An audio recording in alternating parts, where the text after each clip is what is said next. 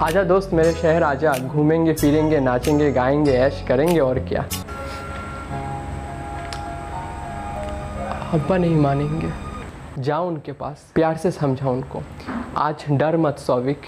तो एक दो महीने जब कोविड का थर्ड वेव आएगा और तू किसी ऐसे अस्पताल में पड़ा होगा और, और मरने का इंतज़ार कर रहा होगा तब सोचेगा कि बाइक का टैंकी फुल था टायर प्रेशर भी सही था।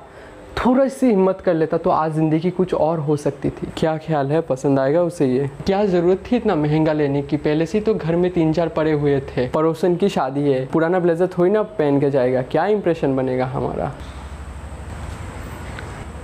सौविक सौविक आज तो तुम दर्जी वाले के पास जाने वाले थे ना?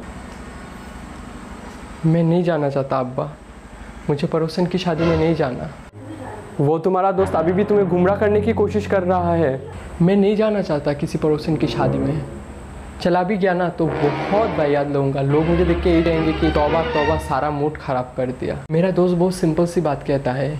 जहाँ तुम्हें घूमने जाना अच्छा लगे वहाँ जाओ। फिर वो घूमना घूमना नहीं एडवेंचरस लगेगा। खर्चा कितना होगा और खाओगे क्या? अब्बा खर्चा थोड़ा ज़्यादा होगा और खाने के लिए ज़्यादा कुछ नहीं मिलेगा लेकिन बाई रूट जाते वक्त ना जो व्यू मिलेगा और बाई रूट जाते वक्त टपरी वाला चाय पीने को मिलेगा। जब घूमने जाओगे और अपने दोस्तों को देखोगे कि इंस्टा पे स्टोरी डाल रहे हैं hashtag chicken lover hashtag yummy dinner तो अपने आपको कोसोगे। शादी में जाके लोनली फील करूँगा फिर पूरा दिन व्हाट्सएप में स्टेटस लगाऊँगा hashtag sad life hashtag no one loves me फिर आपको कोसूँगा।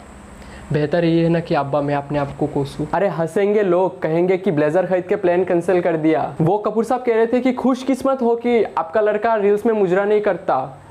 वो क्या सोचेंगे? कपूर साहब ने मुझे स्प्लेंडर खरीद के नहीं दिया। ना ही उन्होंने मेरे बाइक में सौ रुपये का पेट्रोल डलवा के वो खुद साइकिल से बाज़ार गए। ना ही उन्होंने मुझे साइकिल के सामने बिठा के पूरे बाज़ार घुमाया। वो सब आपने किया था, अब्बा?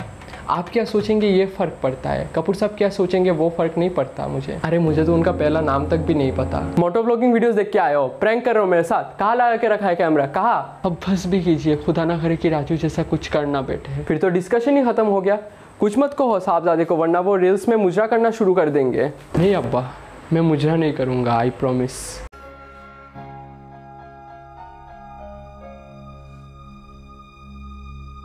वो जो मेरा दोस्त है ना, जिसे आप शैतान कहते हैं, उसने ज़बरदस्ती मेरे बाइक के वाला स्टिकर लगवाया। My mom is waiting at home for me और कहा कि जब भी तुझे ऐसे स्टूपिड ख्याल आए तो सोचना कि क्या होगा उनका, जब वो तुझे रील्स में मुजरा करते हुए देखेंगे। अब्बा, मैं आपको कन्विंस करना चाहता हूँ, ये मुजरे का तलवार आपके सर पर लटका के नहीं। क्या होगा अगर मैं मोटो ब्लॉगर बन गया तो? थोड़ा मेहनत ज़्यादा करना पड़ेगा हेट आएगा। पर मेरे पास एक बीएमडब्ल्यू होगा, एक टाइगर होगा, पर अब्बा मैं घमंडी नहीं बनूँगा। मैं बहुत ही डाउन टू अर्थ रहूँगा। आज तक आपने जो भी कहा, मैंने सुना। आपने कहा था कि टेंथ के बाद ऐश ही ऐश है, मैंने माना। आपने फिर ट्वेल्थ में भी वही कहा। आप कॉलेज में भी वही कह रहे अब्बा, आज बस एक बार मुझे अपने दिल की बात सुनने दीजिए ना। प्लीज़ अब्बा।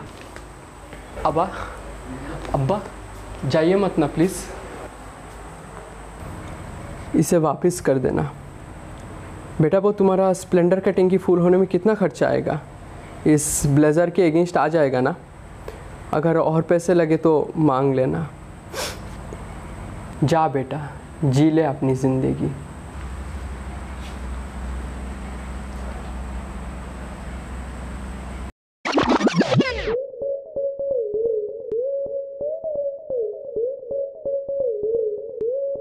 हाय, रुके रुके रुके। ये वीडियो यहाँ तक ख़त्म नहीं हुआ।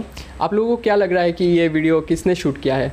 ऑब्वियसली मैंने तो बैक कैमरा से नहीं किया, क्योंकि मेरा दोनों हाथ ही दिख रहा है। अभी एक हाथ ही दिख रहा है। ओके कोई बात नहीं। तो ये वीडियो शूट किया है इन्होंने। तो ये भाई साहब आपको टिप्स एंड ट्रिक्स देंगे कि आप ऑनलाइन घर बैठे पैसे कैसे कमा सकते हैं। तो इसका इंस्टाग्राम लिंक डिस्क्रिप्शन में है। आप चाहे तो वहाँ से इसे रीच आउट कर सकते हैं। Okay thank you for watching video till the end